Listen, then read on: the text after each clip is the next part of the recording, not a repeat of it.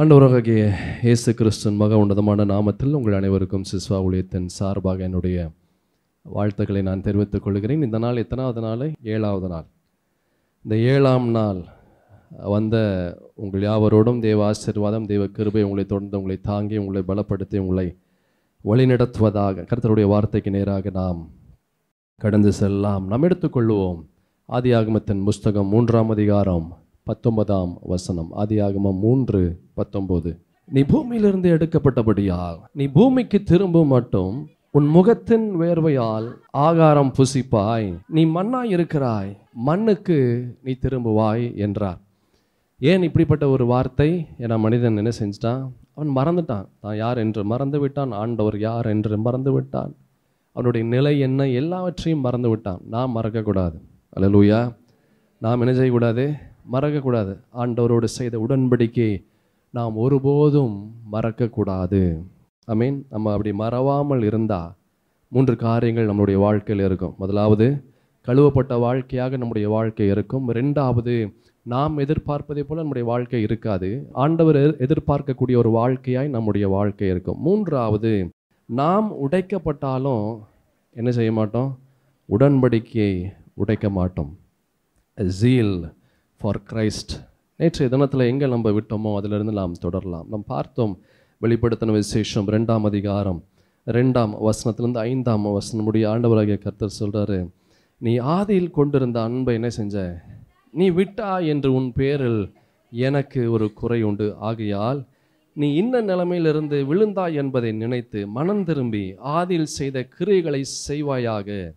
இல்லாவிட்டால் நான் சீக்கிரமாய் உன்னிடத்தில் வந்து நீ மனம் திரும்பாத பட்சத்தில் உன் விளக்கு தண்டை அதனிடத்திலிருந்து நீக்கி விடுவேன் என்று சொல்லாரு நீ மனம் திரும்பு.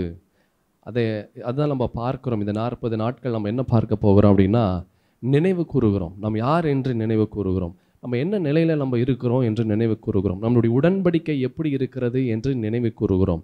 இந்த நினைவு கூறுகிற நாட்கள் தான் இந்த நாற்பது நாட்கள். சங்கீதத்தின் புஸ்தகம் எண்பத்தி நான்காம் சங்கீதம் ரெண்டாவது வசனத்தை நம்ம பார்க்கலாம் வேகமாக. என் ஆத்துமா கர்த்தருடைய ஆலய பிரகாரங்கள் மேல் வாஞ்சையும் தவனவுமாய் இருக்கிறது.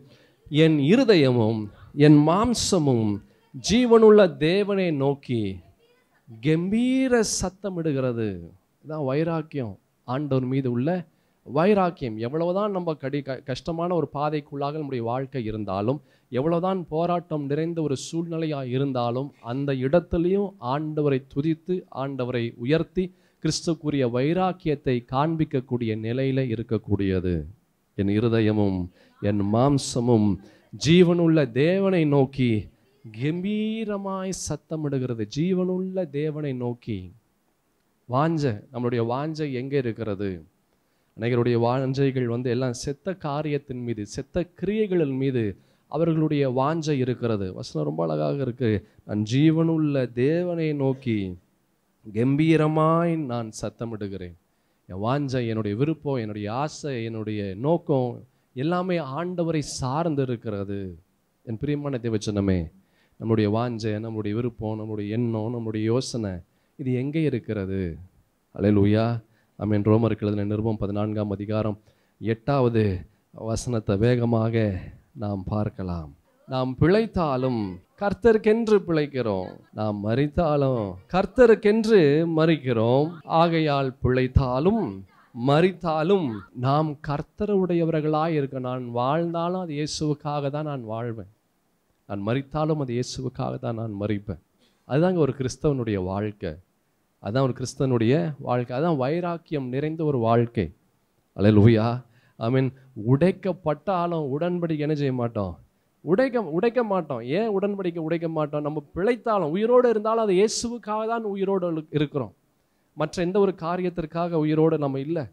அப்படிப்பட்ட ஒரு எண்ணம் அப்படிப்பட்ட ஒரு யோசனை அப்படிப்பட்ட ஒரு வைராக்கியம் ஒரு கிறிஸ்தனுடைய வாழ்க்கையில் இருந்தால் அந்த கிறிஸ்தவன் கர்த்தருடைய ஆசிர்வாதத்தை அவன் பெற்றுக்கொள்வான். அந்த கிறிஸ்தவன் கர்த்தருடைய ஆசிர்வாதத்தை சுதந்தரிக்க முடியும். தேவனுடைய வல்லமை அவன் பெற்றுக்கொள்ள முடியும். ஆண்டவருக்காக வாழ்ந்தா.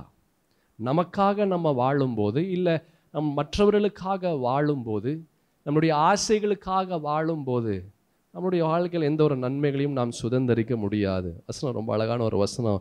நாம் பிழைத்தாலும் கர்த்தருக்கென்று பிழைக்கிறோம். நாம் மறித்தாலும் கர்த்தருக்கென்று மறிக்கிறோம் ஆகையால் பிழைத்தாலும் மறித்தாலும் நாம் யாருடையவர்களாக இருக்கிறோம்? கர்த்தருடையவர்களாக இருக்கிறோம். ஆண்டவராக இயேசு உடையவர்களாக இருக்கிறோம். நம்ம அப்படி தான் இருக்கிறோமா என்று யோசிச்சு பாருங்கள் நம்ம யாருடையவர்களாக இருக்கிறோம்? அல்லேலூயா everything in my life is of God எல்லாமே கர்த்தருக்காக தான் எல்லாமே கர்த்தருக்காக தான் லா my my God is having total control in my life ஆண்டவராகிய கர்த்தர் அவர் என்னை ஆளுகை செய்கிறார். அவர் என்னை வழி நடத்துகிறார். அவருடைய சித்தத்தின்படி என்னுடைய வாழ்க்கை இருக்கிறது. அவருடைய விருப்பத்தின்படி நான் ஒவ்வொரு காரியத்தையும் நான் செய்கிறேன். அவருடைய சித்தமன்றி நான் எந்த ஒரு காரியத்தையும் நான் செய்கிறதில்ல. அவர் இது வேண்டான்னு சொன்னால் வேண்டாம் தான். அவர் இது செய் அப்படின்னு சொன்னால் நான் செய்வேன்.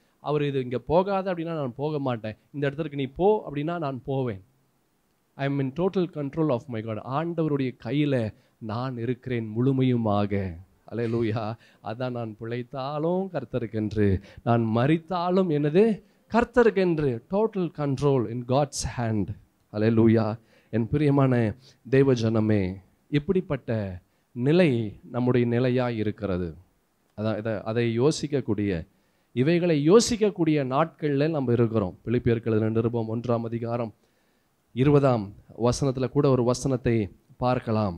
நான் ஒன்றிலும் வெட்கப்பட்டு போகாமல் எப்பொழுதும் போல இப்பொழுதும் மிகுந்த தைரியத்தோடே ஜீவனாகிலும் சாவினால் ஆகிலும் கிறிஸ்து என் சரீரத்தினாலே மகிமைப்படுவார் என்று எனக்கு உண்டாயிருக்கிற வாஞ்சைக்கும் நம்பிக்கைக்கும் தக்கதாய் அப்படி முடியும்.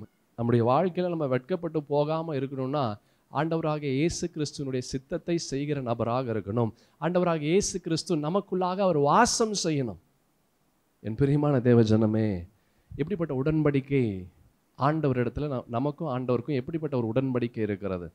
அந்த உடன் அந்த உடன்படிக்கை வந்து இன்னும் இருக்கா? இல்லை அந்த உடன்படிக்கை உடைந்து விட்டதா? நேற்றைய தினத்தில் பார்த்தோம் பலிபீடம் உடைந்து இருக்கிறதா? இல்லை பலிபீடம் ஒழுங்காக இருக்கிறதா?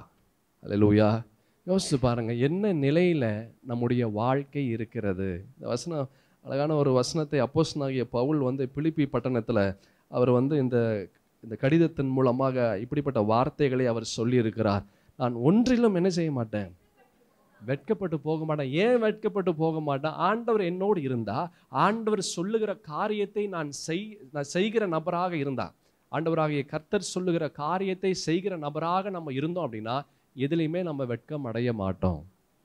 ஆனால் நிஜ வாழ்க்கையில் எப்படி இருக்குது? நம்முடைய வாழ்க்கையில் பலவிதமான வெட்கங்கள். ஏன் கர்த்தர் சொல்லுகிற காரியத்தை செய்யாதபடி நம்முடைய விருப்பத்தின்படி நம்முடைய எண்ணங்களின்படி நம்முடைய யோசனையின்படி செய்கிறோம்.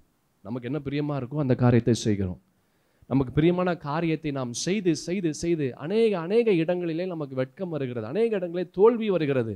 அநேக இடங்களில் பலவிதமான பிரச்சனைகள் பலவிதமான உபாதைகள் பலவிதமான போராட்டங்கள் என் பிரியமான தேவ ஜனமே நம்முடைய வாழ்க்கையில் ஆசீர்வாதமாக சந்தோஷமாக உயர்வாக இருக்கணும் அப்படின்னா ஆண்டவரை சுமக்கிற சரீரங்களாக கர்த்தர் எதிர்பார்க்கிற ஒரு வாழ்க்கை வாழக்கூடியவர்களாக உடன்படிக்கையை கை கொண்டு இருக்கிறவர்களாக கிறிஸ்துவுக்குரிய வைராக்கியம் உடையவர்களாக இருந்தா இப்படிப்பட்ட வார்த்தையை நம்ம சொல்ல முடியும். எப்படிப்பட்ட வார்த்தையை நான் ஒன்றிலும் நான் வெட்கப்பட்டு போக மாட்டேன். ஹலே லூயா யோசித்து பாருங்க இந்த இந்த வருஷம் ஆரம்பித்து இது வந்து ரெண்டாவது மாதம். இந்த மாதத்தவனுடைய கடைசி பகுதியில் வந்துட்டோம். இல்லை கடந்த வருஷத்தில் எதுலெல்லாம் நம்ம வெட்கப்பட்டு போயிருக்கிறோம்? குடும்பத்துலையா? இல்லை நம்ம நம்ம நம்ம வசிக்கக்கூடிய தெருவுலையா? இல்லை நம்ம வேலை செய்கிற ஸ்தலத்துலையா? சொந்தக்காரங்க மத்தியிலையா? இல்லை எந்த இடத்துல நம்மளுடைய தலை கீழே வெட்கத்தலை கீழே குனிந்தது என்று யோசித்து பாருங்க. அப்படி ஒரு ஒருவேளை அப்படி ஒரு வேளை அப்படிப்பட்ட நிலையில் நம்மளுடைய தலை கீழே குனிந்திருந்திருந்தால் யோசித்து பாருங்கள் கர்த்தருடைய சித்தத்தை நாம் செய்கிற நபராக இருந்தோமா? ஆண்டவரை சுமந்திருந்தோமா? ஆண்டவருடைய உடன்படிக்கை நம்ம கை கொண்டிருந்தோமா என்று யோசித்து பாருங்க. லூயா உடன்படிக்கை உடைந்தா? உடன்படிக்கை விட்டு நம்ம விலகுனா? ஆண்டவருடைய சித்தத்தை செய்யாமல் இருந்தா கிறிஸ்துவுக்குரிய வைராக்கியம் இல்லை அப்படின்னா வெட்கப்படக்கூடிய ஒரு நிலை கடந்து வரும். ஐ மீன் நான் ஒன்றிலும் என்ன செய்ய மாட்டேன்? நான் வெட்கப்பட்டு போகாமல் எப்பொழுதும் போல இப்பொழுதும் மிகுந்த தைரியத்தோடு ஜீவனாலாகிலும் சாவினாலாகிலும் கிறிஸ்து என் சரீரத்தில் மகிமைப்படுவார். அதான் சொன்னேன். கிறிஸ்து இந்த சரீரத்தில் சந்தோஷப்படுவார். இந்த சரீரத்தை குறித்து என்னை குறித்து அவர் சந்தோஷமா இருப்பாரா? என் பேரை சொன்னோன்னா அவர் சந்தோஷமா இருப்பாரா? என் பேரை சொன்னோன்னா ஆண்டவர் வந்து அவர் அவருடைய முகத்தில் சிரிப்பு வருமா? யோசித்து பாருங்க. நம்ம பேரை சொன்னால் ஆண்டவருக்கு சந்தோஷம் வருமா? நம்ம பேரை சொன்னால் ஆண்டவருக்கு நம்ம மீது ஒரு வைராக்கியம் வருமா என்று யோசித்து பாருங்கள் ஃபர்ஸ்ட் ஆஃப் ஆல் நம்ம பேர் தெரியுமா என்று யோசித்து பாருங்கள் அலே லூயா என் சகோதரா சகோதரி இவைகளை நினைவு கூறுகிற நாட்களில் நம்ம இருக்கிறோம் இவைகளை நினைவு கூறுகிற நாட்கள். ம் நான் எப்படி இருப்பேன்? நான் எப்பொழுதும் போல இப்பொழுதும் மிகுந்த தைரியத்தோடு ஜீவனால் ஆகிலும் சாவினால் ஆகிலும் கிறிஸ்து என் சரீரத்தினாலே மகிமைப்படுவார் என்று எனக்கு உண்டாயிருக்கிற வாஞ்சைக்கும் நம்பிக்கைக்கும் தக்கதாய் எப்படி முடியும். நம்ம வா நான் நம்புகிறேன் ஆண்டவர் என் மேல் பிரியப்படுவார். நான் நான் நம்புறேன் ஆண்டவர் வந்து என்னை என்னை யோசிக்கும் போது ஆண்டவர் என்னை பார்க்கும்போது என் பேரை அவருடைய நினைவில் வரும்போது அவ்வளவு சந்தோஷப்படுவார். நான் பேசும்போது என்னுடைய சத்தத்தை கேட்கும்போது ஆண்டவர் சந்தோஷப்படுவார். அலையலூயா ஆண்டவர் சந்தோஷப்படும் அப்படிப்பட்ட ஒரு நம்பிக்கை விசுவாசம் இருக்கிறதா? ஐ மீன் என் சகோதரா சகோதரி அப்படிப்பட்ட ஒரு வாழ்க்கை வாழக்கூடிய நபராக இருந்தால் நம்ம தைரியமாக இருக்க முடியும். நம்ம எப்படி இருக்க முடியும்? தைரியமாக இருக்க முடியும். நம்பிக்கையோடு விசுவாசத்தோடு இருக்க முடியும். வித் அ ஹெட் எரெக்ட் நம்முடைய தலை நிமிர்ந்து இருக்கக்கூடிய ஒரு நிலைக்குள்ளாக இருக்கும். அல்லேலூயா மீன் நம்ம தலை எப்படி இருக்கும்? நிமிர்ந்து இருக்கும். நம்ம தலை கீழே குனியாது. நிமிர்ந்து இருக்கக்கூடிய தலைகளாக நம்முடைய தலைகள் இருக்கும். எப்படி யாருடைய தலைகள் அப்படி இருக்கும் அப்படின்னா உலகத்திலிருந்து விலக்கப்பட்டவர்கள் இல்லை உலகத்திலிருந்து விலகி இருக்கிறவர்கள் உலகத்திலிருந்து விலகி இருக்கிறவர்கள் அவருடைய கவனம் அவருடைய எண்ணம் அவருடைய சிந்தனை அவருடைய யோசனை அவருடைய வாஞ்சை அவருடைய விருப்பம் எல்லாமே ஆண்டவர் என்று ஆண்டவரை சார்ந்து இருக்கவர்களுடைய வாழ்க்கை இப்படிப்பட்ட வாழ்க்கையாக இருக்கும். அலையலூயா whatever Christ want I want ஆண்டவராக இயேசு கிறிஸ்து என்ன விருப்பமோ அது என்னுடைய விருப்பம். ஆண்டவராக இயேசு கிறிஸ்து என்ன சொல்கிறாரோ அது நான் செய்வேன். அப்படிப்பட்ட எண்ணம் அப்படிப்பட்ட சுவாபம் உடைய அப்படிப்பட்ட நிலையில் இருக்கக்கூடியவருடைய வாழ்க்கையில் இப்படிப்பட்ட வார்த்தைகள் நிறைவேறும். அலையலூயா ஆமேன் சங்கீதத்தில் கூட ஒரு வசனத்தை பார்க்க முடியும். எழுபத்தி மூன்றாம் சங்கீதம் இருபத்தி ஐந்து இருபத்தி ஆறு வசனங்களிலே பார்க்கலாம். பரலோகத்தில் உண்மை அல்லாமல் எனக்கு யார் உண்டு? பூலோகத்தில் உம்மை தவிர எனக்கு வேற விருப்பமில்லை. பரலோகத்தில் உண்மை அல்லாமல் எனக்கு யார் உண்டு? எனக்கு யார் உண்டு ஆண்டவரே? யாரும் இல்லை. பூலோகத்தில் உண்மை தவிர எனக்கு வேறு விருப்பம் இல்லை. எனக்கு பணம் எனக்கு வந்து விருப்பம் இல்லை. எனக்கு பேர் புகழ் அந்தஸ்து அது எனக்கு விருப்பம் இல்லை. என்னுடைய விருப்பம் எல்லாம் ஆண்டவராக இயேசு கிறிஸ்து தான். அல்லேலூயா இப்படிப்பட்ட நபருடைய வாழ்க்கையில் ஆண்டவர் பிரியப்படுவார். இப்படிப்பட்ட நபருடைய வாழ்க்கையில் ஆண்டவர் அவர்களை உயர்த்துவார். இப்படிப்பட்ட நபருடைய வாழ்க்கையில் அவர்கள் ஜெபிப்பதற்கு முன்பதாகவே அவர்களுடைய வாழ்க்கையில் அற்புதங்களையும் அடையாளங்களையும் அவர்கள் சுதந்தரிப்பார்கள். அல்லேலூயா மீன் எப்படி? பூலோகத்தில் உண்மை தவிர எனக்கு வேற விருப்பமில்லை. Money place position is nothing compared to Christ இது எதுவுமே ஆண்டவருக்கு ஈடாக இணையாக இவைகள் இருக்க முடியாது. அதான் அதனுடைய அர்த்தம். பணம் பேரு புகழ் அந்தஸ்து இது எதுவுமே ஆண்டவருக்கு ஈடு இணையாக இருக்க முடியாது. இருபத்தி ஆறாவது வசனத்தை பாருங்களேன். என் மாம்சமும் என் இருதயமும் மாண்டு போகிறது. தேவன் என்றென்றைக்கும் என் இருதயத்தின் கண்மலையும் என் பங்குமா இருக்க என் இருதயத்தின் கண்மலை அப்படின்னா இருதயத்தில் ஒரு கஷ்டம் ஒரு வேதனை ஒரு சந்தோஷம் எது வந்தாலும் ஓடி போய் ஒளிந்து கொள்ளக்கூடிய ஒரு இடம் அப்படின்னா தேடக்கூடிய இருதயம் தேடக்கூடிய இடம் ஆண்டவராக இருக்கிறாராம். என் இருதயத்தின் கண்மலை அப்படின்னா என் இருதயம் தேடக்கூடிய ஒரு நபர். அதில் நம்முடைய இருதயம் தேடக்கூடிய நபர் யார்? யோசித்து பாருங்க. நம்முடைய இருதயம் தேடக்கூடிய நபராக யார் இருக்கிறா? ஒரு சந்தோஷம் அப்படின்னா அந்த சந்தோஷம் வந்த மாத்திரத்தில் நம்ம யாருக்கிட்ட போய் சொல்லணும்னு நினைக்கிறோம்? இல்லை ஒரு சோகம் ஒரு வருத்தம் ஒரு கண்ணீர் ஒரு அவமானம் ஒரு நிந்த ஒரு தோல்வி இப்படிப்பட்ட விஷயத்தில் இப்படிப்பட்ட நேரத்தில் நம்ம யாரை யாரிடத்துல இந்த காரியத்தை பகிர்ந்து கொள்ள வேண்டும் என்று நாம் யோசிக்கிறோம்? இங்கே வசனத்தில் பார்க்குறோம் இந்த சங்கீதத்தில் ரொம்ப அழகான ஒரு காரியத்தை பார்க்கிறோம். தேவன் என்றென்றைக்கும் என் இருதயத்தின் கண்மலையும் என் பங்குமா இருக்கிறார் என் இருதயத்தின் கண்மலை என் இருதயத்தின் கண்மலை. இஸ் மை எவ்ரி திங் அவர் தாங்க எல்லாமே. அவர் இல்லை அப்படின்னா நான் இல்லை நான் இல்லை. He knows very well without God there is nothing he can do ஆண்டவர் இல்லாமல் ஒன்றும் செய்ய முடியாது என்ற ஒரு எண்ணம். இப்படிப்பட்ட எண்ணம் உடையவர்கள் அவர்கள் உடைக்கப்பட்டாலும் உடன்படிக்கை உடைக்க மாட்டார்கள். அலையலூயா இப்படிப்பட்ட எண்ணம் நமக்கு இருக்கா என்று யோசிச்சு பாருங்கள் இப்படி எண்ணம் இல்லைன்னா உடன் கஷ்டம் வரும்போது வேதனை வரும்போது உடன்படிக்கையை உடைத்து போகக்கூடிய ஒரு நிலை. ஆண்டவரை விட்டு விலகக்கூடிய ஒரு நிலை ஒரு ஆசையோ இல்லை ஏதோ ஒரு காரியம். ஆதாம் எவ்வளோ நல்லதாக இருந்தாங்க. ஆனால் ஒரு ஆசை வந்த மாத்திரத்தில் அவருடைய எண்ணங்களுக்குள்ளாக பிசாசு ஒரு தீமையான ஒரு விஷயத்தை ஒரு ஆசையை அவன் விதைத்து அந்த விதையை என்ன செஞ்சது? ஆண்டவருடைய சமூகத்திலிருந்து விலகி போகும்படியாக செய்தது. என்ன ஆனாலும் சரி என்ன ஆனாலும் சரி நான் இந்த இயேசுவை விட்டு நான் போக மாட்டேன். அப்படிப்பட்ட உறுதி நமக்கு இருக்கிறதா? ஐ மீன் பிலிப்பியர்கள் நிருபம் மூன்றாம் அதிகாரம் பத்தாம் வசனத்திலிருந்து பார்க்கலாம் பதினெட்டாம் வசனம் முடிய இப்படி நான் அவரையும் அவருடைய உயிர்த்தெழுதலின் வல்லமையையும் அவருடைய பாடுகளின் ஐக்கியத்தையும் அறிகிறதற்கும் அவருடைய மரணத்திற்கு ஒப்பான மரணத்திற்குள்ளாகி போதும். ஐயோ ஐயோ இந்த வசனத்தில் அவ்வளோ விஷயம் இருக்குது நிறைய விஷயம் இருக்குது அது சும்மா ரெண்டு மூணு வரியிலேயே அத்தனை விஷயங்கள் இந்த வார்த்தையில் இருக்குது இப்படி நான் இது சொல்கிறது வந்து அப்போஸ் அப்போஸ்தலனாகிய பவுல் வந்து அவர் சொல்கிறாரு நீங்கள் நல்லா கவனிச்சீங்கன்னா அவர் எழுதின பதிமூன்று புத்தகத்தில் ஒவ்வொரு புத்தகத்தில் அவர் எழுதின விஷயங்கள் ஒவ்வொரு விதமாக இருக்கும். ஏன் அப்படின்னா அந்தந்த ஊருக்கு தகுந்ததே போல அந்தந்த மனிதர்களுக்கு தகுந்ததை போல அவருடைய கடிதங்கள் இருக்கும். ஆனால் இந்த பதிமூன்று கடித கடிதங்கள் அப்போஸ்தலனாகிய பவுல் எழுதின அந்த பதிமூன்று கடிதங்கள் அந்த பதிமூணு கடிதத்தில் சொல்லப்பட்ட விஷயங்கள் அப்படியே நமக்கு வந்து வர மாதிரியே இருக்கும். அப்படின்னா என்ன அர்த்தம் தெரியுமா? எல்லா மனுஷனை எல்லா மனிதனையும் சேர்த்து நம்ம ஒரு மனுஷன் அப்படின்ற அர்த்தம். எப்படி? எல்லா பட்டணத்தில் எல்லா இடத்துல இருக்கிற பல தரப்பு மனிதர்கள் பல தரப்பு பல பாஷைகள் பல தரப்பு மனிதர்கள் அவனுக்கு எல்லாத்தையும் உள்ளடக்கினவங்க தான் யார்? நம்ம ஒருத்தர்.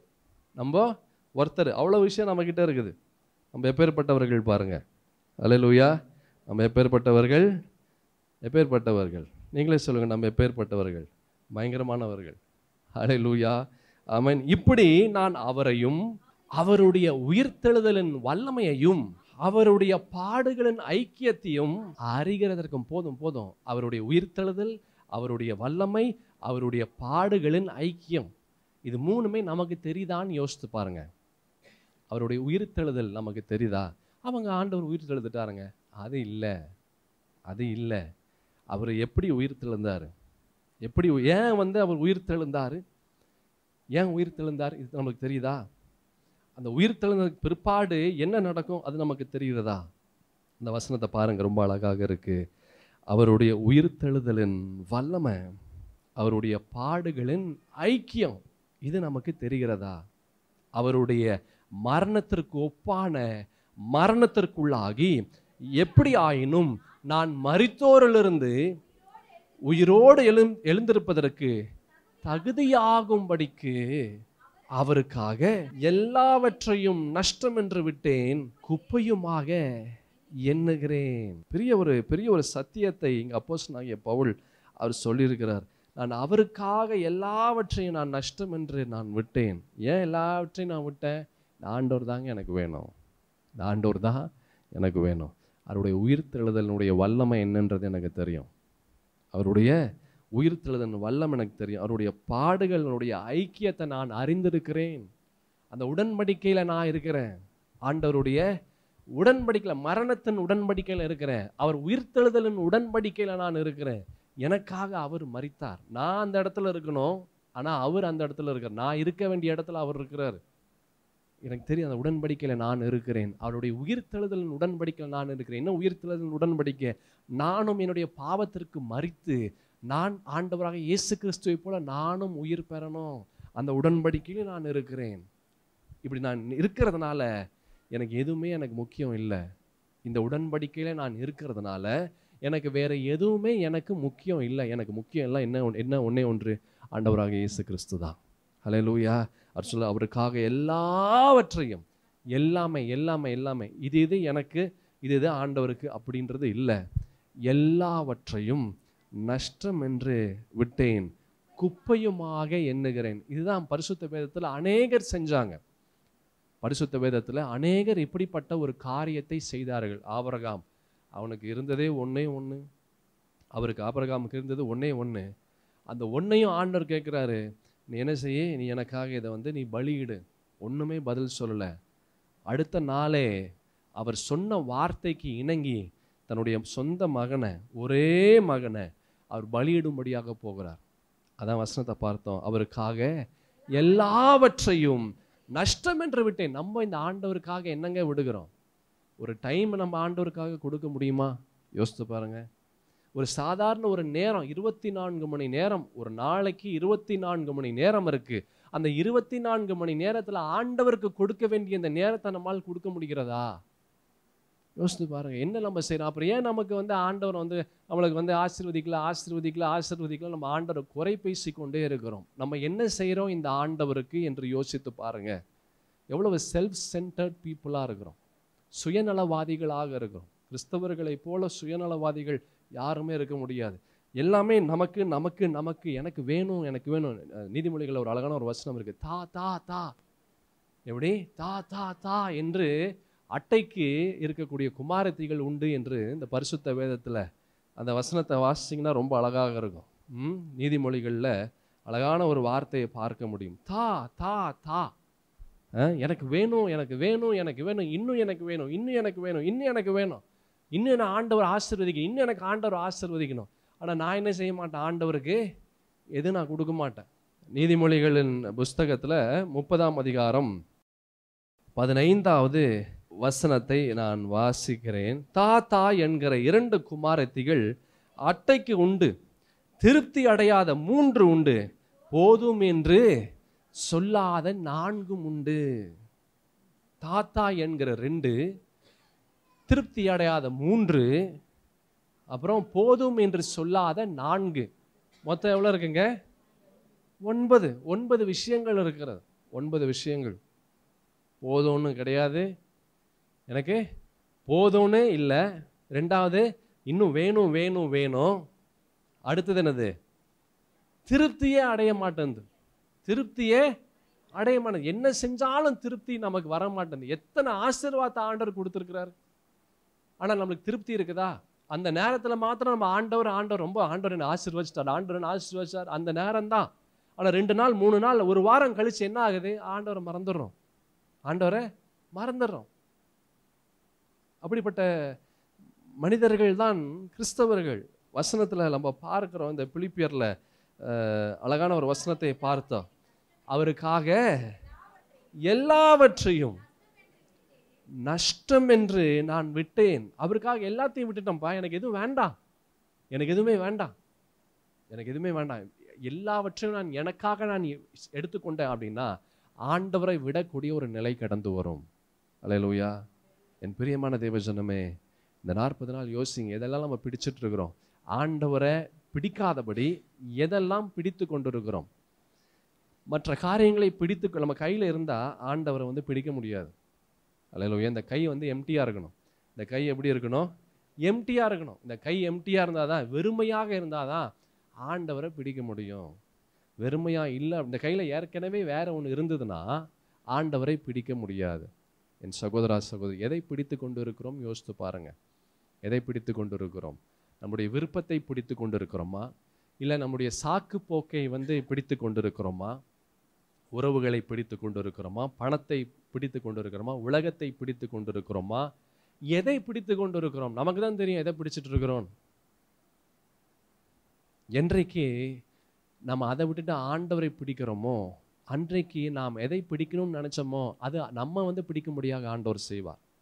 அலையலூயா முதலாவது தேவனுடைய ராஜ்யத்தையும் அவருடைய நீதியையும் நீங்கள் தேடுங்கள்.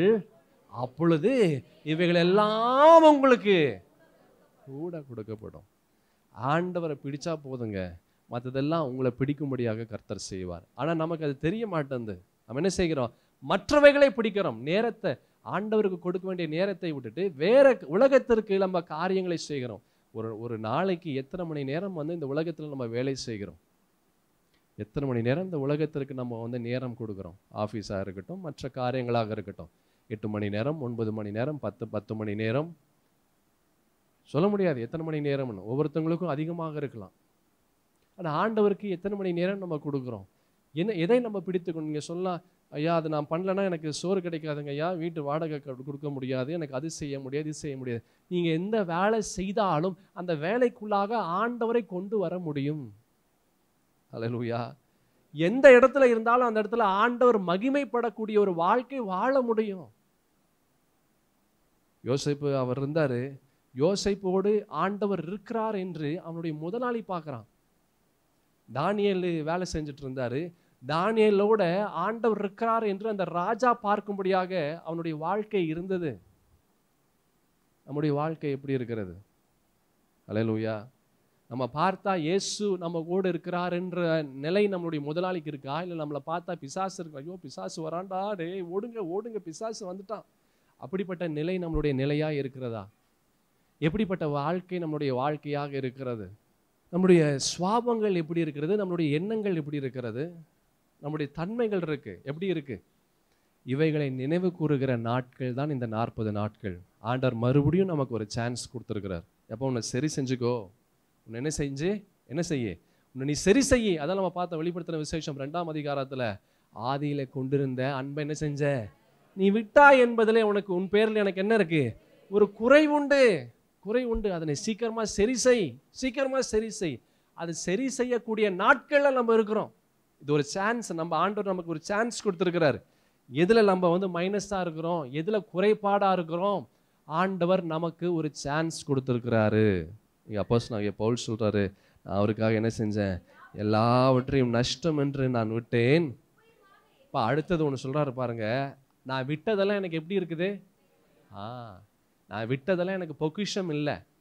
நான் எதெல்லாம் நான் விட்டுட்டு வந்தனோ எனக்கு இதெல்லாம் வேண்டாம் இதெல்லாம் வேண்டாம் இதெல்லாம் எனக்கு வேண்டாம் இதெல்லாம் வேண்டாம். எதெல்லாம் நான் விட்டுட்டு வந்தனோ அதெல்லாம் எனக்கு எப்படி இருக்குது? குப்பையாக இருக்குது. ஆனால் அநேக கிறிஸ்தவர்களுக்கு அநேகருக்கு எப்படி தெரியுமா இருக்கு? அவர்களுக்கு அது பொக்கிஷமாக இருக்கிறது. அந்த வாலிபன் சொன்னால் பார்த்தீங்களா ஐயோ வேணாங்க. ஆண்டு சொல் எல்லாத்தையும் வித்துட்டு என் பின்னே வா. நீ கேட்ட நித்திய ஜீவன் நான் உனக்கு தருகிறேன். அவன் எப்படி போனான் துக்கம் அடைந்தவனாய் அவன் போனான். ஏன்? அவனுடைய பொக்கிஷம் அது. அநேகருடைய பொக்கிஷம் வந்து இந்த உலகத்தின் காரியங்கள் அதுதான் அவருடைய பொக்கிஷமாக இருக்குது அது அவர்களுக்கு பொக்கிஷமாக இருக்கிற வரைக்கும் ஆண்டவர் பொக்கிஷமாக திற அவர்களுக்கு வந்து காண்பிக்க மாட்டார். உலகம் அவர்களுக்கு பொக்கிஷமாக இருக்கிற வரைக்கும் வேலை பொக்கிஷமாக இருக்கிற வரைக்கும் மற்ற உறவுகள் குடும்பங்கள் மற்ற சொத்து சுகம் பணம் இவைகள் நேரம் இவைகள் பொக்கிஷமாக இருந்தால் ஆண்டவர் பொக்கிஷமாக அவர்களுடைய கண்களுக்கு தெரிய மாட்டார். ஐ மீன் நீங்க அதே இது நீங்க பன்னெண்டாம் வசனத்தை கூட பாருங்களேன். நான் அடைந்தாயிற்று அல்லது முற்றும் தேறினானேன் என்று எண்ணாமல் கிறிஸ்து இயேசுவினால் நான் எதற்காக பிடிக்கப்பட்டேனோ அதை நான் பிடித்து கொள்ளும்படி ஆசையாய் தொடருகிறேன். எனக்கு எல்லாம் தெரியுன்றது இல்லைங்க. எனக்கு எல்லாம் தெரியுன்றது இல்லை. நான் இன்னும் நான் இன்னும் எனக்கு இன்னும் நான் ஆண்டவர் ஆண்டவரை பற்றி நான் அதிகமாக தெரிஞ்சுக்கணும். இன்னும் ஆண்டவரிடத்தில் நான் அதிகமாக வரணும். அநேகருடைய வாழ்க்கையில் என்னன்னா கொஞ்சம் பைபிளை நம்ம படிச்சுட்டா நமக்குள்ளாக என்ன ஒரு எண்ணம்னா எனக்கு எல்லாமே பைபிளை பற்றி எனக்கு எல்லாமே தெரியும் எனக்கு தெரியாதது எதுவுமே இல்லை அப்படின்ற ஒரு எண்ணம். என் சகோதரா சகோதரி நல்லா கவனமாக கேளுங்க. இந்த பைபிளை எனக்கு தெரியும்னு சொல்லி உலகத்தில் யாருமே சொல்ல முடியாது. ஏன்? இன்க்ளூடிங் அப்போஸ் ஆகிய பவுல் கூட சொல்ல முடியாது. ஏன் தெரியுமா? இந்த பைபிள் கடைசி வரைக்கும் நம்ம கற்றுக்கொண்டே இருக்கணும். கடைசி வரைக்கும் கடைசி வரைக்கும் நம்ம வந்து இந்த பைபிள் அநேக காரியங்கள் கற்றுக் கொடுத்து கொண்டே தான் இருக்கும். கடைசி வரைக்கும். அலையலூயா எனக்கு இது தெரிஞ்சிருச்சு எனக்கு இது போதும். அவ்வளோதான் எனக்கு இனிமேல் எல்லாத்தையும் கரைச்சி குடிச்சிட்டேன். இதிலேருந்து எனக்கு எதுவுமே எனக்கு புரியாதது எதுவுமே இல்லை. அப்படி எதுவுமே சொல்ல முடியாது. ஒவ்வொரு நாளும் ஒவ்வொரு நொடியும் இந்த பரிசுத்த வேதம் ஒவ்வொரு வி ஒவ்வொரு வித்தியாசமான காரியத்தை நாம் தெரிந்து கொள்ளும்படியாக இந்த வார்த்தை நமக்கு சொல்லி கொடுக்குது. ஐ மீன் அதான் ஒரு அழகான ஒரு காரியத்தை சொல்கிறார் நான் அடைந்தாயிற்று அல்லது முற்றும் தேறினவனானேன் என்று நான் எண்ண முடியாதுப்பா? நான் எண்ணாமல் கிறிஸ்து இயேசுவினால் நான் எதற்காக பிடிக்கப்பட்டேனோ அதை நான் பிடித்து கொள்ளும்படி ஆசையாக நான் தொடர்கிறேன். நம்ம உடன்படிக்கையை விட்டுட்டோமா? அவர் சொல்ல நான் இல்லைப்பா நான் அதை நான் தொடர்ந்து பிடித்து கொண்டே நான் ஓடுகிறேன். நம்ம விட்டுட்டு ஓடுறோமா? இல்லை ஆண்டவரை பிடித்து கொண்டு ஓடுகிறோமா என்று யோசித்து பாருங்க. அலையலூயா எத்தனை பேருக்கு இந்த ரிலே ரேஸ் தெரியும்? ரிலே ரேஸ் தெரியுமா யாருக்காவது? ரிலே ரேஸ் தெரியுமா? சொல்லியிருக்கிறேன்னா அந்த ரிலே ரேஸு அந்த கையில் வந்து ஒரு குச்சமாக இருக்கும். அதை அதை பிடிச்சிட்டு ஓடணும். ஓடி போய் அங்கே முன்னாடி ஒருத்தர் இருப்பார். அவர்கிட்ட கொடுக்கணும். அவர் அதை வாங்கிட்டு அவர் ஓடுவார்.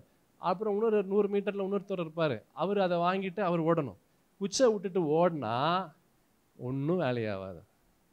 குச்சை விட்டுட்டு அவன் ஃபஸ்ட்டு போய் ஜெயிச்சா கூட அவன் ஜெயிச்சவனாக கருத மாட்டாங்க.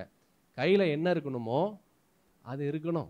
கையில் என்ன இருக்கணுமோ அது இருக்கணும். இந்த வசனம் ரொம்ப அழகாக அப்போஸ்தலனாகிய பவுல் சொல்கிறார் பாருங்களேன். நான் எதற்காக பிடிக்கப்பட்டேனோ அதை நான் பிடித்து கொள்ளும்படி ஆசையாய் நான் தொடருகிறேன். ஆண்டவரை பிடித்துக்கணும். ஆண்டவரை பிடிக்கணும். உடன்படிக்கையை பிடிக்கணும். அதை அது அது இல்லாமல் நம்மளுடைய வாழ்க்கை போகிற வாழ்க்கை அது பயன் இல்லை வேஸ்ட்டு அதான் வசனம் சொல்லுது பலமுறை சொல்லியிருக்கிறோம். நீங்களுக்கும் தெரியும். மனுஷன் உலகம் முழுவதையும் ஆதாயப்படுத்தி கொண்டாலும் தன் ஜீவனை நஷ்ட நஷ்டப்படுத்தி கொண்டாலும் அவனுக்கு என்ன இல்லை? லாபம் இல்லை. நீ எவ்வளவுதான் நீ பேர் புகழ் அந்தஸ்து எவ்வளவு உயரங்கள் நம்ம சென்று சென்று போனாலும் ஆண்டவர் இல்லாமல் எதுவுமே லாபம் இல்லை. உலகத்தில் எத்தனை கோடியான கோ- எத்தனை கோடிகளை சம்பாதிக்கிற முதல் பணக்காரனாக இருந்தாலும் அவன் ஆண்டவர் இல்லாமல் அவன் செத்தா? ஆண்டவர் இல்லாமல் இருந்தா அவனுடைய வாழ்க்கையில் அந்த கோடிகள் அவனை காப்பாற்ற முடியாது. அல்லேலூயா அது நம்ம எல்லாருக்கும் தெரியும்.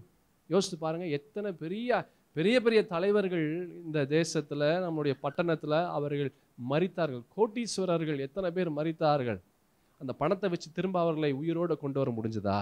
இல்லை. அதோட செத்தவங்க செத்தவங்க தான். ஆனால் கிறிஸ்துவுக்குள்ளாக மறித்தவங்க அவங்களால திரும்ப உயிரோடு வர முடியும். ஹalleluya அதுதாங்க அந்த கிறிஸ்தவனுக்குள்ள மிகப்பெரிய ஆசீர்வாதம். மிகப்பெரிய ஆசீர்வாதம். ஆண்டவருடைய ரகசிய வருகை வரும்போது யாரெல்லாம் நாம் மறிக்க கொடுத்தோமோ உண்மையாக கிறிஸ்துவுக்குள்ளாக மறித்தவர்கள் அவர்கள் உயிர் பெறுவார்கள். அவங்க வருவாங்க கோட்டீஸ்வரன் வரமாட்டான். கோட்டீஸ்வரன் வர முடியாது. கிறிஸ்துவுக்குள்ளாக மறித்த நபர்கள் தான் அவர்கள் உயிர் பெற முடியும். அதான் வசனம் ரொம்ப அழகான ஒரு வசனத்தை நம்ம பார்த்தோம். என்ன பார்த்தோம்? நான் எதற்காக பிடிக்கப்பட்டேனோ அதை நான் பிடித்து கொள்ளும்படி ஆசையாய் நான் தொடர்கிறேன். சகோதரே அதை பிடித்து கொண்டேன் என்று நான் எண்ணுகிறதில்லை. ஒன்று செய்கிறேன். பின்னானவைகளை மறந்து முன்னானவைகளை நாடி கிறிஸ்து இயேசுவுக்குள் தேவன் அழைத்த பரம அழைப்பின் பந்தய பொருளுக்காக லக்கே நோக்கி நான் தொ- என் பாதையை விட்டு நான் மாறிட்டேன். முடிஞ்சு போச்சு கதை. என் பாதையை விட்டுட்டு நான் மாறிட்டேன்னா என் வாழ்க்கை முடிஞ்சு போச்சு. என் பாதை என்ன? இயேசு அந்த பாதையில் இருக்கிறாரா? இயேசு அந்த பாதையில் இருக்கிறாரா? அந்த பாதையில் இயேசு இல்லாமல் அந்த பாதையில் போனேன் அப்படின்னா என் வாழ்க்கை அவளோட முடிஞ்சு போச்சுன்னு அர்த்தம். என் வாழ்க்கையில் அந்த பாதை எனக்கு நன்மையை கொடுக்காது. எனக்கு ஆசீர்வாதத்தை கொடுக்காது. பணம் இருக்கலாம் வேறு புகழ் அந்தஸ்து இருக்கலாம் அந்த பாதையில். ஆனால் இயேசு இல்லாமல் இவைகள் எது இருந்தாலும் அது எனக்கு ஆசீர்வாதமாக இருக்காது. அல்லேலூயா யோசித்து பாருங்க நம்முடைய பாதையில் இயேசு இருக்கிறாரா? நம்ம போகிற பாதையில் இயேசு இருக்கிறாரா? இயேசு இருந்தால் நம்முடைய வாழ்க்கை கழுவப்பட்ட வாழ்க்கையாக இருக்கும். இயேசு இருந்தால் நம்முடைய வாழ்க்கையில் அவர் எதிர்பார்ப்பதை போல நம்முடைய வாழ்க்கை இருக்கும். இயேசு இருந்தால் நம்முடைய பாதையில் நாம் உடைக்கப்பட்டாலும் அந்த இயேசுவை நாம் விட்டுட்டு போக மாட்டோம். அவரை உடைக்க மாட்டோம். ஹalleluya ஆமென். அந்த வசனத்தில் பார்த்தோம். அந்த வசனம் ரொம்ப அழகான ஒரு வசனம். கிறிஸ்து இயேசுவுக்குள் தேவன் அழைத்த பரம அழைப்பின் பந்தய பொருளுக்காக நான் லக்கையை நோக்கி என்ன செய்கிறேன்? நான் தொடர்கிறேன். ஆகையால் நம்ம தேறினவர்கள் யாவரும் இந்த சிந்தையாக இருக்கு இந்த எண்ணத்தோடு இருக்கணும். இந்த எண்ணத்தோட நான் ஆண்டவருடைய பாதையில் இருக்கிறேனா? நான் உடன்படிக்கையை வந்து கை கொண்டு இருக்கிறேனா? இல்லை உடன்படிக்கையை உடச்சிட்டனா? இல்லை கிறிஸ்து எனக்குள்ளாக இருக்கிறாரா? அவருடைய சுவாபங்கள் இருக்கிறதா? அவருடைய தன்மைகள் இருக்கிறதா? இதை இவைகளை யோசிக்கக்கூடிய நபராக இருக்கணும். இவைகளை யோசிக்கக்கூடிய நபராக இருந்தால் அது நமக்கு ஆசீர்வாதமாக இருக்கிறது. அல்லேலூயா என் பிரியமான தேவஜனமே நம்முடைய வாழ்க்கையில் இந்த இயேசு இல்லாமல் எத்தனை பெரிய விஷயங்கள் இருந்தாலும் நமக்கு அது ஆசீர்வாதமாகவே இருக்காது. இன்றைக்கி வேணால் ஆசீர்வாதமாக இருக்கலாம். நாளைக்கு வேணால் ஆசீர்வாதமாக இருக்கலாம். ஆனால் ஒரு நாள் வரும். ஒரு நாள் வரும். அந்த ஒரு நாள் வரும்போது அன்னைக்கு வந்து ஐயோ இந்த இயேசுவை விட்டுட்டேனே. ஐயோ இந்த இயேசுவை எத்தனையோ முறை வந்து சபையில் சொன்னாங்க. எத்தனையோ முறை வந்து ஊழியர்கள் சொன்னாங்க. நான் கேட்காம விட்டு விட்டேனே என்று கதறக்கூடிய நாட்கள் வரும். அலையலூயா. இந்த லாசரு அப்புறம் அந்த ஐஸ்வர்யவான். லாசரு ஐஸ்வர்யவான். பெரிய அவன் வாழ்ந்த வாழ்க்கை பெரிய ஐஸ்வர்யவான் தான் உயிரோடு இருக்கிற காலங்கள். ஆனால் அவன் அவன் மறித்த அந்த நொடி அவனுடைய வாழ்க்கை அப்படியே தலைகீழாக மாறிவிட்டது. வாழ்க்கை என்னாச்சு? தலைகீழாக மாறிவிட்டது. இருக்கிற வரைக்கும் நம்ம வந்து இயேசுவை விட்டுட்டு வேற காரியத்தை பிடித்து கொண்டு இருந்தால் எப்படி? இருக்கிற வரைக்கும் நம்ம வாழ்கிற வாழ்க்கையில் இயேசுவை விட்டுட்டு வேற காரியத்தை நாம் பிடித்து கொண்டு இருந்தால் நம்முடைய கடைசி நாட்களில் இந்த இயேசு நம்முடைய வாழ்க்கையில் இருக்க மாட்டார். அலே லூயா ஆமீன் நம்ம பார்த்தோம் அந்த பிலிப்பியர் எழுதின நிருபத்தில் பதினோராவது வசனத்தில் மூன்றாம் அதிகாரம் பதினோராவது வசனத்தில் அவருக்காக எல்லாவற்றையும் என்ன செஞ்சேன்? நான் நஷ்டம் என்று நான் விட்டேன். நஷ்டம் என்று நான் விட்டேன். இதே இதில் கூட நீங்கள் பதினேழாவது வசனத்தை பாருங்களேன். இதே மூன்றாம் அதிகாரத்தில் சகோதரரே நீங்கள் என்னோடு கூட பின்பற்றவர்களாகி நாங்கள் உங்களுக்கு வழிகாட்டுகிறபடி நடக்கிறவர்களை மாதிரியாக நோக்குங்கள். அடுத்தது ஏனெனில் அநேகர் வேறு விதமாய் நடக்கிறார்கள். அவர்கள் கிறிஸ்துவின் சிலுவைக்கு பகைஞர் என்று உங்களுக்கு அநேக தரம் நான் சொன்னேன்.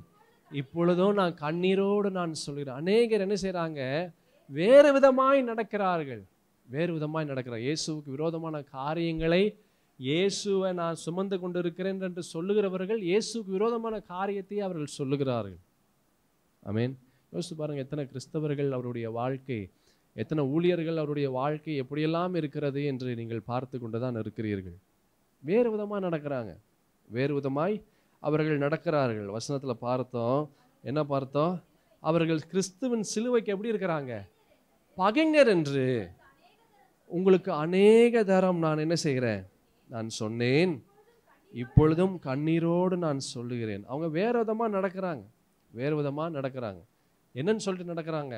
நான் தாங்க ஆண்டவர் நமக்கு உதவி செய்வாருங்க. இப்படியெல்லாம் பண்ணுங்க. இதெல்லாம் ஒரு பாவம் கிடையாது.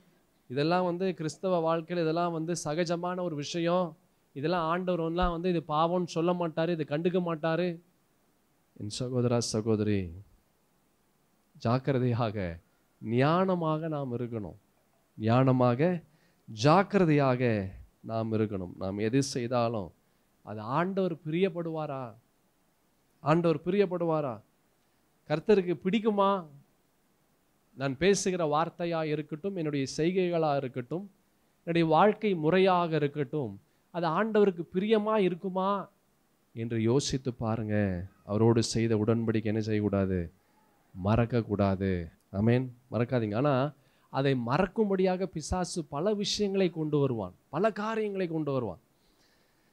சூழ்நிலைகள் மூலமாக மனிதர்கள் மூலமாக ஏன் நம் மூலமாகவே பிசாசு கொண்டு வருவான்?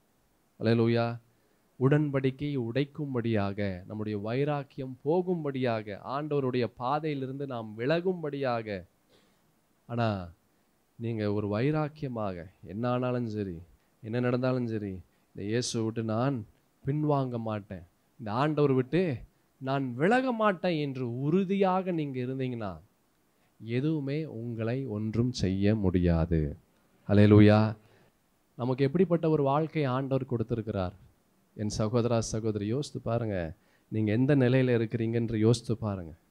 நீங்கள் எப்படிப்பட்ட வாழ்க்கை வாழ்ந்து கொண்டு இருக்கிறீங்க என்று யோசித்து பாருங்கள் இந்த ஆண்டவருக்காக நீங்கள் என்ன செய்கிறீங்க? எப்படிப்பட்ட வைராக்கியம் நம்முடைய வைராக்கியமாக இருக்கிறது? அலையலூயா ஒவ்வொருத்தங்கெல்லாம் காடு மேடு அப்படின்னு நடந்து வராங்க. அதில் அதில் சில பேர் காலில் செருப்பு கூட கிடையாது. நான் கேட்டேன் ஏன் அவங்களுக்கு செருப்பு நீங்கள் வாங்கி தரல? ஐயா நான் செருப்பெல்லாம் நீங்கள் காசு கொடுத்து நாங்கள் வாங்கி கொடுத்தா அவங்க போட மாட்டேன்றாங்க. வேண்டாம் பரவாயில்ல அப்படின்னு சொல்கிறாங்க ஆண்டவருக்காக இது கூட நாங்கள் செய்யலைன்னா என்னங்கன்றாங்க? எவ்வளோ ஒரு வைராக்கியம். காடு மேடுன்னு எதுக்கு? கோயிலுக்கு போகிறதுக்கு ஆராதனை செய்யும்படியாக ஆண்டவருடைய ஆலயத்திற்கு அவர்கள் காடு மேடு என்று அலைந்து அவர்கள் கடந்து வருகிறார்கள். நம்ம என்ன செய்கிறோம் ஆண்டவருக்காக? யோசிச்சு பாருங்க பைபிள் வாசிட்டோம் நான் பைபிள் வாசிட்டேங்க பைபிள் வாசிட்டேங்க நான் ஜெபிச்சிட்டேங்க ஜெபிச்சிட்டேங்க. நம்ம செய்கிறதெல்லாம் ஒன்றுமே இல்லைங்க. ஆண்டவர் நம்மை பார்த்து நம்மை ஆசிர்வதிப்பாரா? இல்லை அவர்களை பார்த்து அவர்களை ஆசிர்வதிப்பாரா? அலையலூயா யோசித்து பாருங்கள் நம்ம எந்த இடத்துல இருக்கிறோம் என்று யோசித்து பாருங்கள் எப்படிப்பட்ட நிலையில் கர்த்தருடைய பார்வையில் நம்ம எப்படிப்பட்ட நிலையில் நம்மளுடைய நிலை இருக்கிறது? என்னென்ன சாக்கு போக்கு சொல்லி கொண்டு இருக்கிறோம் ஆண்டவருடைய ஊழியத்தில்? கர்த்தருடைய காரியத்தில் எப்படிப்பட்ட சாக்கு போக்கு சொல்லி கொண்டு இருக்கிறோம்? யோசித்து பாருங்க யோசித்து பாருங்க நல்லா யோசித்து பாருங்க. நம்முடைய நிலை எப்படிப்பட்ட நிலையாக இருக்கிறது? அந்த பிலிப்பியர்கள் நிருபத்தில் பார்த்தோம். மூன்றாம் அதிகாரம் பதினோராவது வசனத்தில் அவருக்காக நான் எல்லாவற்றையும் நான் நஷ்டம் என்று விட்டேன். குப்பையுமாக எண்ணுகிறேன். எதுவுமே எனக்கு பிரச்சனை இல்லைங்க. எனக்கு எதுவுமே வேண்டாம். அந்த ஜனங்கள் அப்படி தான் செஞ்சாங்க. எனக்கு எதுவுமே வேண்டாம். எனக்கு எதுவுமே வேண்டாம். எனக்கு ஆண்டவர் தாங்க வேணும். ஆனால் நம்ம இன்னும் என்ன பண்ணிகிட்ருக்கோம் இருக்கோம்? எனக்கு இல்லைங்க. எனக்கு இது எனக்கு பிடிக்கல. எனக்கு அது எனக்கு பிடிக்கல. எனக்கு இப்படி இல்லை. எனக்கு அப்படி இல்லை. எனக்கு அந்த வசதி இல்லை. இந்த வசதி இல்லை. அவர்களுக்கு எந்த வசதியுமே இல்லை. அவர்களுடைய வசதி ஒன்றே ஒன்று தான் ஆண்டவராக இயேசு கிறிஸ்து. அலையலூயா அது எந்த இடத்துல இருந்தாலும் சரி எப்படிப்பட்ட நிலையில் இருந்தாலும் சரி நான் இந்த ஆண்டவரை நான் நோக்கி பார்ப்பேன். நான் இந்த ஆண்டவரை ஆராதனை செய்வேன். அலையலூயா யோசித்து பாருங்க நம்ம எப்படிப்பட்ட ஒரு வாழ்க்கை வாழ்ந்து கொண்டு இருக்கிறோம் நம்முடைய எண்ணங்கள் எப்படிப்பட்ட எண்ணங்களாக இருக்கிறது? நம்முடைய சுவாபங்கள் எப்படிப்பட்ட சுவாபமாக இருக்கிறது? அதான் ஆண்டர் சொல்றாரு மூன்றாம் அதிகாரம் பத்தொன்பதாவது வசனத்தில் நீ எப்படி இருக்கிற? நீ மண்ணாக இருக்கிற. உன் எண்ணம் எல்லாம் மண்ணு மாதிரி இருக்கு. உன் சிந்தனைகள்லாம் மண்ணு மாதிரி இருக்கு. இன்னும் நீ உன்னை உயர்த்தணும்னே யோசித்து கொண்டு இருக்கிறாய் நீ இன்னும் வந்து உன்னை வந்து பெருசாக பெரிய மனிதன் சொல்லி நீ காண்பிக்கணும் என்று நீ ஆசைப்படுகிறாய். உன் எண்ணம் எப்படி இருக்குது? மண்ணு மாதிரி இருக்குது. நீ மண்ணாக இருக்கிறாய். நீ மண்ணாக இருக்கிறாய். அதனால் நீ என்ன செய்ய? நீ மண்ணுக்கு போ. வேண்டாம் நீ இருக்காத. ஏன் இருக்காத? நீ மண்ணாக இருக்கிற. என் சகோதரா சகோதரி அப்போஸ்தலனாகிய பவுல் சொல்றார் எல்லாவற்றையும் நஷ்டம் என்று நஷ்டம் என்று நான் விட்டேன். குப்பையுமாக நான் எண்ணுகிறேன். குப்பையுமாக எண்ணுகிறேன். ஆனால் நம்ம என்ன செய்கிறோம் குப்பைகளை நம்ம பொக்கிஷமாக கருதுகிறோம். பொக்கிஷத்தை குப்பை மாதிரி நம்ம எண்ணுகிறோம். அப்படியே வயசு வருஷாவாக நம்ம மாற்றிக்கிட்டோம் எது குப்பையோ அது நம்ம கண்ணுக்கு எப்படி இருக்குது? பொக்கிஷமாக இருக்கிறது. எது பொக்கிஷமோ அது நம்ம கண்ணுக்கு எப்படி இருக்கிறது? குப்பையாக இருக்கிறது. கொலோசியர்கள் நிருபம் மூன்றாம் அதிகாரம் இருபத்தி ரெண்டு இருபத்தி மூணு இருபத்தி நான்கு வசனத்தை நீங்கள் பாருங்களேன். வேலைக்காரரே சரீரத்தின்படி உங்கள் எஜமான்களாக இருக்கிறவர்களுக்கு எல்லா காரியத்திலையும் கீழ்ப்படிந்து நீங்கள் மனுஷருக்கு பிரியமாக இருக்க விரும்புகிறவர்களாக பார்வைக்கு ஊழியம் செய்யாமல் தேவனுக்கு பயப்படுகிறவர்களாக கபடமில்லா இருதயத்தோடு ஊழியம் செய்யுங்க போதும் போதும் போதும். அந்த வசனத்தை பாருங்கள் நீங்கள் மனுஷருக்கு பிரியமாக இருக்க விரும்புகிறவர்களாக பார்வைக்கு ஊழியம் செய்யாத தேவனுக்கு பயப்படுகிறவர்களாக கபடமில்லா இருதயத்தோடு ஊழியம் செய். நீ பார்வைக்கு நீ ஊழியம் செய்யாத வேண்டாம் அது ஆசீர்வாதமாக இருக்காது. அது ஆசீர்வாதமாக இருக்காது. தேவனுக்கு பயப்படுகிறவர்களாக கபடமில்லா இருதயத்தோடு இருதயம் என்ன எப்படி இருக்கக்கூடாது? கபடம் இல்லாத இருதயம். அலையலூயா என்ன இருதயம்? கபடம் இல்லாத இருதயம். அப்- இருதயம் அப்படின்னு என்ன தெரியுமா? அந்த இருதயத்திற்குள்ளாக ஆண்டவர் இருக்கணும். ஆண்டவர் இல்லாத இருதயம் எல்லாமே கபடம் உள்ள இருதயம். என் சகோதரா சகோதரி நம்ம இருதயம் எப்படிங்க இருக்கு? கபடமுள்ள இருதயமாக இருக்கிறதா? கர்த்தருடைய பார்வையில் நம்ம எப்படி இருக்கிறோம்? ஐஸ்வர்யவானாய் ஆண்டவருடைய பார்வையில் இருக்கிறோமா? நம்ம யாருடைய பார்வையில் நம்ம நல்லவனாக இருக்கணும்னு நம்ம காண்பிக்கிறோம்? கர்த்தருடைய பார்வையில் நல்லவனாக இருக்கணும்னு காண்பிக்கிறோமா? இல்லை மனிதனுடைய பார்வையில் நல்லவனாக இருக்கணும்னு காண்பிக்கிறோமா? கர்த்தருடைய பார்வையில் நல்லவனாக இருக்கணும்னா ஆண்டவர் எதிர்பார்க்கிற ஒரு வாழ்க்கை வாழணும்.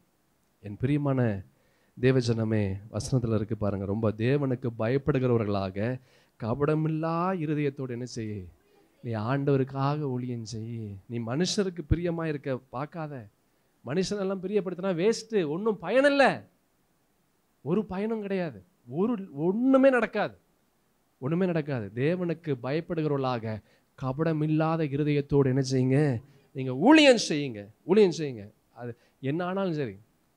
ஆண்டவர் ஆண்டவருக்காக என் இயேசுவுக்காக நான் இதை செய்கிறேன். இப்போ யோபு சொல்றாரு கர்த்தரிடத்திலிருந்து நான் நன்மையை பெற்றுக்கொண்டேன். நான் தீமையை பெறாமல் இருப்பது எப்படி? என்ன அழகான ஒரு வார்த்தைக்கு யோபு சொல்கிறாரு பாருங்க. ஆண்டவர் எனக்கு நன்மை செய்யும் போது ஆண்டவர் சூப்பர் சூப்பர் சூப்பர்னு நான் சொல்கிறேன் ஆண்டவர் ஏதாவது நான் கேட்ட காரியங்கள் ஆண்டவர் எனக்கு செய்யலைன்னா இந்த ஆண்டவர் வேஸ்ட்டு அப்படி இப்படின்னு நான் சொல்லலாமா? கர்த்தரிடத்திலிருந்து நன்மையை பெற்ற நாம் தீமையை பெறாமல் இருப்பது எப்படி? யோசை புனர் ஒரு காரியத்தை சொல்கிறாரு நான் ஆண்டவருக்கு விரோதமாக இந்த பாவத்தை நான் செய்ய மாட்டேன். ஆண்டவருக்கு விரோதமாய் நான் எப்படி பாவம் செய்வேன்? அதுதான் கபடம் இல்லாத இருதயம். கபடம் இல்லாத இருதயம். அது மனுஷனுக்காக அவன் ஊழியம் செய்யலை. ஆண்டவருக்காக ஊழியம் செய்கிறது. அதுதாங்க ஆசீர்வாதம். மனுஷனுக்கு மனுஷன் பார்க்க முடியாத செய்தா அது என்றைக்குமே நிலைக்காது. அவங்க கீழே விழுந்துருவாங்க. என்னைக்குமே நிலையாய் நிற்காது. என்ன ஆனாலும் சரி எத்தனை பெரிய கொடூரமான நிலை வந்தாலும் சரி அதான் அதான் நம்ம பார்த்தோம் மூணாவது பாயிண்ட்டு உடைக்கப்பட்டாலும் உடன்படிக்கையை உடைக்க மாட்டோம். அல்லேலூயா அதுதான் அது. அதுதான் கர்த்தருக்கு பயந்து கர்த்தருக்காக கபடமில்லாத ஒரு வாழ்க்கை வாழ்ந்து கர்த்தருக்காகவே இருப்பது.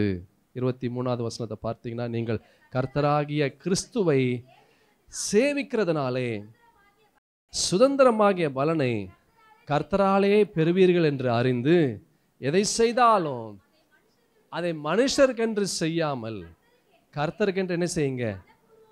மனப்பூர்வமாய் செய்யுங்கள். மனப்பூர்வமாய் ஹோல் ஹார்ட்டட்லி அந்த இருதயம் ஆண்டவருக்காக செய்ப்பா எது செய்தாலும் ஆண்டவருக்காக. அந்த முழு இருதயத்தோடு முழு ஆத்மாவோடு முழு சிந்தையோடு நீங்கள் ஆண்டவர் மேலே அன்பு செலுத்தும் போது ஆண்டவர் நீங்கள் நினைத்து பார்க்க முடியாத ஆசீர்வாதத்தை நீங்கள் பெற்றுக்கொள்ளும்படியாக கர்த்தர் செய்வார். ஹலே லூயா தேவனுக்கு மகிமை உண்டாவதாக. இதனுடைய தொடர்ச்சியை நாளை தினத்தில் நம்ம பார்க்கலாம். யாவரும் கண்களை மூடலாம். மகா உன்னதமான தேவனாகிய கர்த்தாவை உண்மை நாங்கள் துதிக்கிறோம் சோத்தரிக்கிறோம் போற்றுகிறோம். கிருபையின் தெய்வன் தாமே இந்த நாளிலே அநேக காரியங்களை நாங்கள் கற்றுக்கொள்ளும்படியாக நாங்கள் தெரிந்து கொள்ளும்படியாக எங்களோடு நீர் பேசினதற்காக நன்றி. அப்பா நாங்கள் நினச்சோம் உமக்கு நாங்கள் உண்மையாக இருக்கிறோம். நாங்கள் பெரிய காரியங்களை இயேசுவுக்காக செய்கிறோம் என்று நினச்சி கொண்டு இருக்கிறோம் அன்றோரை நாங்கள் எதுவுமே நாங்கள் செய்யலை. அன்றோரை நாங்கள் எதுவுமே நாங்கள் பண்ணல. அப்பா எங்களை மன்னிப்பீராக. ஆண்டவரே எங்களை மன்னிங்க ஆண்டவரே. எங்களுடைய எண்ணங்கள் மாறட்டும் எங்களுடைய யோசனைகள் மாறட்டும்.